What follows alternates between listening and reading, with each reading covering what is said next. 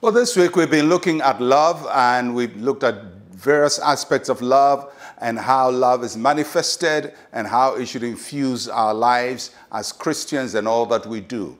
The challenge of 1 Corinthians chapter 13 is very high.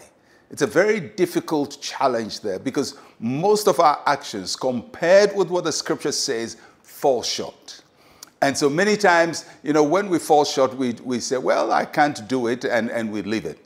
But the important thing for us to do as Christians is to know God's standard and expectation and work and trust Him that He will make us be what He wants us to be. So don't abandon uh, the effort to really manifest the love of God. Let it be our pursuit, let it be our standard, let it be our ideal. So we look at the last of our exposition on love from 1 Corinthians chapter 13 verse 11. When I was a child, I spoke as a child, I understood as a child. I thought as a child. But when I became a man, I put away childish things. Love is the ultimate of Christian maturity. How do you know a Christian has matured or has grown uh, in, in their Christian life? It's love. So Paul is teaching, he says, love is the sign of Christian maturity. And so he talks about when he's a child. Children are naturally selfish, and it takes a lot of maturity to share. When children have something, they don't easily want to give it out. It takes a lot of maturity to share. And so Paul is saying, when I was a child, I spoke as a child, I understood as a child, I thought as a child. There's a progression there. I thought as a child. That, that means it's a mindset, is the way you think.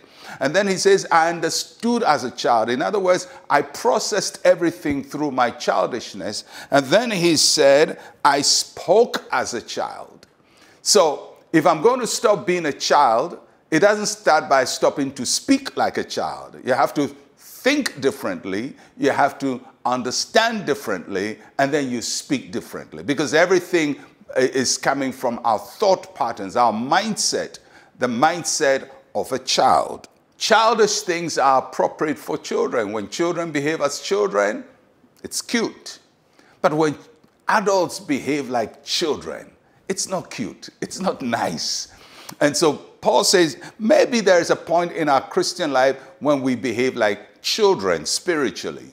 And when we are selfish and we are petulant and we throw tantrums and, and we get upset and we get angry. But he says, after we mature, we must put away these childish things. You can't always be seeking for revenge and vengeance and talking about uh, jealousy and, and, and, and envy.